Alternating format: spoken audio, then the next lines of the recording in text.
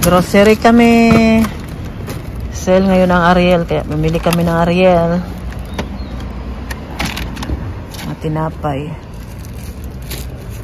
At basura. Magtapon din kami ng basura. Mga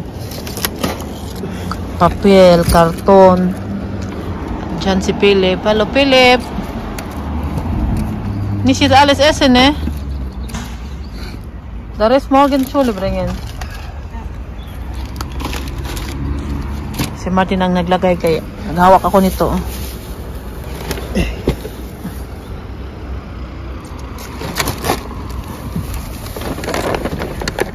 Lagay ko na to dito. Ja, det håller das. Hey, nog piso. Good morning po sa inyong lahat. Ngayon lang tayo nakapag-video ulit. Busy po tayo dito ngayon sa bahay dahil kay Uma. Tingnan po niyo si Fiona. Sabi niya, Mama, gawan kita ng kape mo. Ito naman sa kanya, tea sa kanya, sa akin kape. Pansa open siya siya. Ah, nagdala na siya ng tubig. Uy, kabait naman ng bata na to. Uy, hala. Tapos bumili ako pala ng anong honey. Ito sa kaibigan ko. Ito, ang sarap po nito dahil ito walang halo na chemical. ito ay ano talaga, organic. O, tingnan po na niya si Fiona, di ba? Alam niya na yung mama niya addict sa kape. Alam na niya yan paano gawin yung kape ni Mami Rose. Langsam. Wow. Paul mo yun, Paul.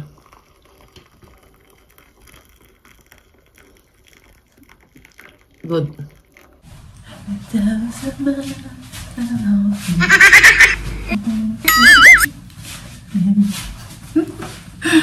Sinasayaw na lang yung stress. Kumusta na po kayong lahat? Ngayon lang po tayo nakabid, nakapag-video ulit no dahil grabe, ang dami ko po talagang ginagawa. Na-stress po ako ngayon dahil nga um, hindi madali yung trabaho ko ngayon kay Uma. Dahil marami siyang nakakalimutan simula nung nakal- nakalabas siya, nakauwi siya to sa bahay. Kasi sa hospital, di ba, dalawang linggo siya doon. Sa dalawang linggo na yon nakahiga siya palagi. Kung nakaupo man siya, kinakarga. Kinakalimutan niya na nakakatayo pa siya, nakakahakbang pa siya ng ilang hakbang, lalo na ito sa bahay, yung ginagawa namin araw-araw. So, hindi niya nagawa yun ng two weeks sa hospital, kaya nakalimutan niya. Ngayon sa bahay, kami ang nahihirapan. Dahil, hindi kami mga, ano ba, hindi kami mga, mga professional, tawag niyan. Wala kaming alam kung paano namin kargahin yung pasyente sa bed papunta sa upuan. Di ba? Nung, nung bago na hospital si Uma, hindi pa naman ganun yung ginagawa namin. Eh ngayon, kailangan na namin gawin sa kanya. So akong ginawa ko, tagtingin-tingin ako sa YouTube, paano kargahin yung mga pasyente na katulad ni Uma. So yun din yung ginagawa ko ngayon. Tinatry ko kasi alam ko sa sitwasyon ni Uma, hindi na yan siya, ano ba, hindi na gagaling, kundi lalala pa yan. Dahil una, sa may edad siya, at yung pangalawa, yung sakit niya na may dementia, at maraming talagang problema si uhod, sa balakang, kaya, kaya nagkakaedad na din sa umay, kaya yan yung problema ko ngayon. Hindi naman nasin problema, ang akin lang, kung kaya kong alagaan si Uma, yun yung inaano ko sa sarili ko. Pero tinatry ko talaga yung, ano, yung makakaya ko na alagaan siya. Kasi pag hindi na namin niya, hindi ko siya kaya na alagaan, pupunta naman, hindi naman sa hindi ko kaya. I mean, yung, baka hindi ko na, ano ba, baka kailangan na namin na bumalik ulit yung nurse niya dito sa bahay. Yun yung, um, siguro mangyayari sa susunod. Titingnan lang namin yung sitwasyon niya kasi ganyan yan siya pag bagong labas sa hospital. Walang panglasa yung mga ano niya, kinakain niya, hindi masarap. Walang lakas. Baka mabalik din yun kasi wala pa siyang one week sa bahay. Ngayong lunes pa siya mag one week sa bahay. Kaya titingnan lang natin at sana na maibalik yon yung mga alala niya, ala, maibalik yung mga ginagawa namin noon sa kanya, yung pang-araw-araw namin na ginagawa ni Uma. At yun yung inano ko, pinagdasal ko na sana na maibalik yun, maalala niya ulit. Kasi yung sakit ni Uma ay nakakalimot kasi yan.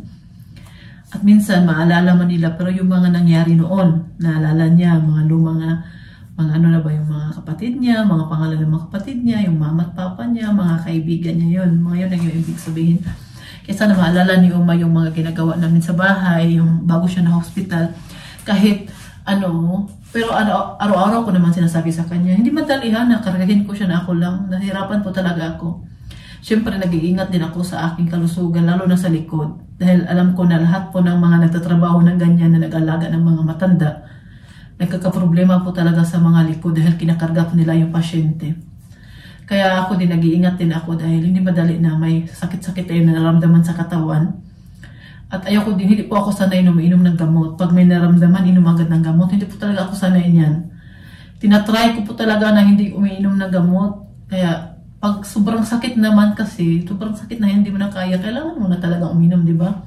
Pero ako kasi, hanggang sa kaya pa, hindi ko talaga, hindi ako talaga umiinom ng gamot. Tinitiis ko ba? Kumbaga, tinitiis ko muna yung sakit. Kaya nag-iingat din talaga ako sa likod ko. Meron akong kaibigan na taga, ano siya, nasa Switzerland siya, trabaho siya ng nurse doon. Sabi niya, grabe yung bilib niya sa akin dahil nag-alaga daw ako ng mother-in-law ko.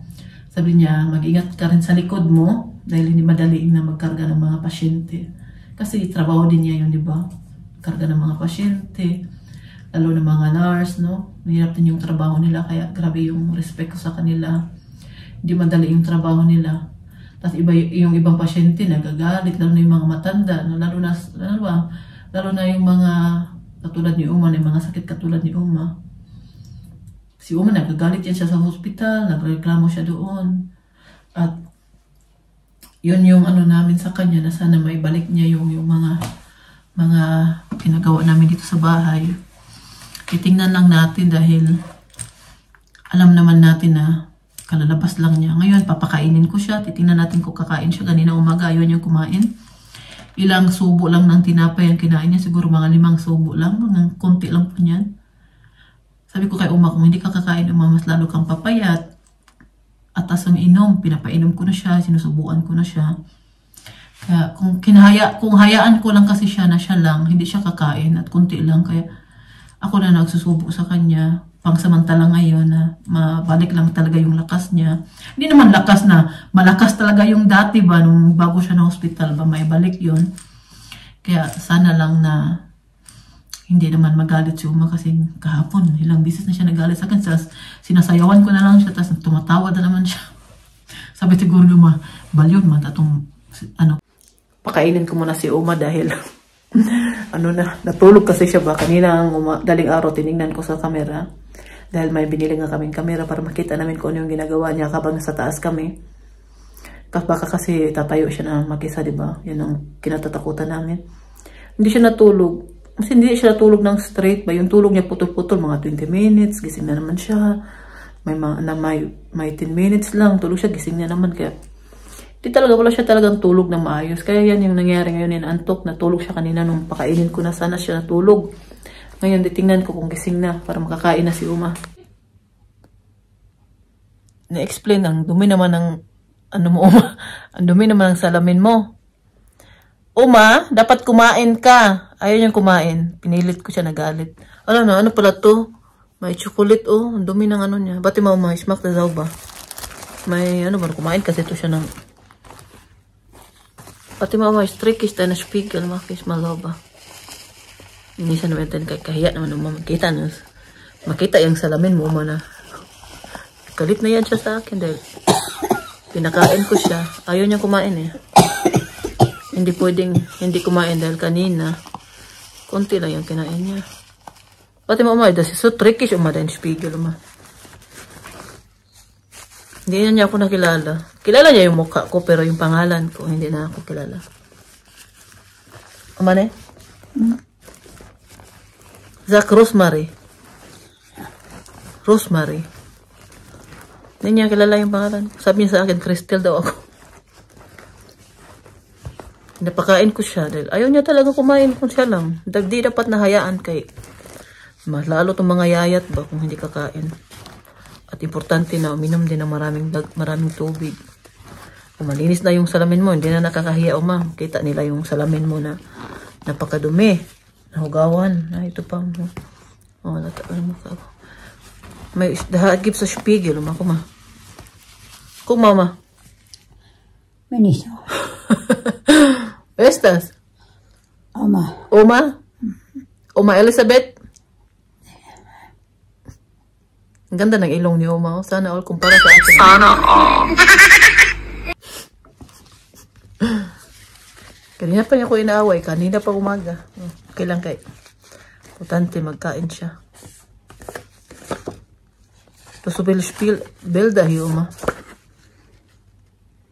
Ah, ito pala yung sinakyan ni Martin noon. Nasa Marine pa si Martin. Oh. Na, ano, nasa Marine kasi yan noon si Martin. Ito yung barko na nasa nakyan nila. Kasi Marine, Bu Martin ba? Come on. Yeah. Was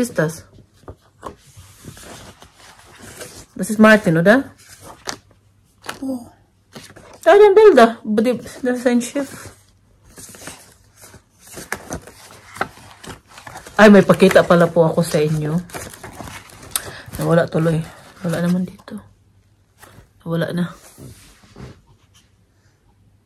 Yan si Uma. Ayaw niya talaga kumain.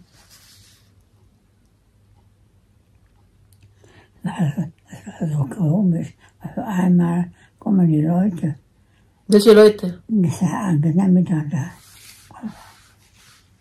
Ang ganda ng buhok ni Uma dahil kahapon. Niligo ko yan siya. Niligo. meine Haare nicht, nicht gemacht. noch nicht. Doch, habe ich gemacht. Natürlich, ja.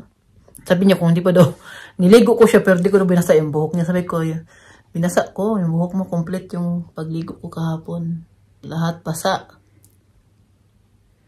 Oh, tingin lang siya sa akin. Oh. Napakain ko siya. Nagalit na yan sa akin. Hindi pa niya, ilang subo pa lang, tatlong subo pa lang yung nabigay ko. Dahil Ayaw niyang kumain.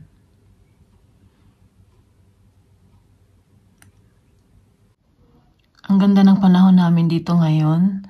Malapit na talaga matapos ang winter. Nakakatuwa dahil na, ano ba, ngayong year na to hindi masyadong mahirap yung winter namin. Nag-snowman pero ilang araw lang din yun kumpara sa mga nakaraang taon. At hindi masyadong ano ang winter natin dito ngayon sa amin. At mag, mag ano na din, mag, mag spring na, mag proling. Kaya dandahan na siyang umaaraw, halos araw-araw nang umaaraw dito sa amin. Itong week na to maganda ang panahon. Oh, tingnan pa ninyo. Oh, pero ano na, maglasing ko na kasi kaya ano na din. Dito pa kasi ako sa kwarto ni Uma. Pinapakain ko po siya. Hindi pa tapos. Kaya nakatingin ako palagi dito sa bintana. Aber so müssen die Haare. Gwapo naman ang anak ko eh. Philipp, das sieht aber besser aus. Wo Ah, fahren wir? Philipp, chill mal eine Runde. Oma muss erstmal auf Toilette gleich. Ah, haben wir noch Toast? Ah, wir kaufen wir gleich.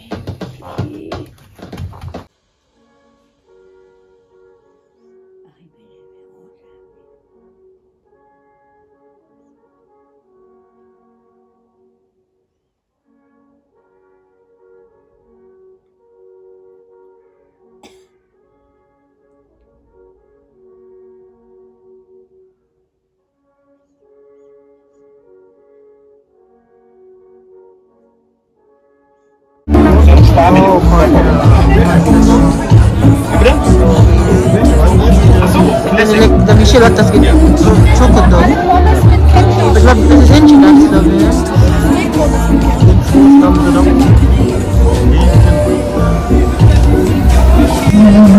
Das ist Butter, Nutella, Lotus. Ah, das ist glaube ich wegen Wachtelchen, ne? Aber das sind die normale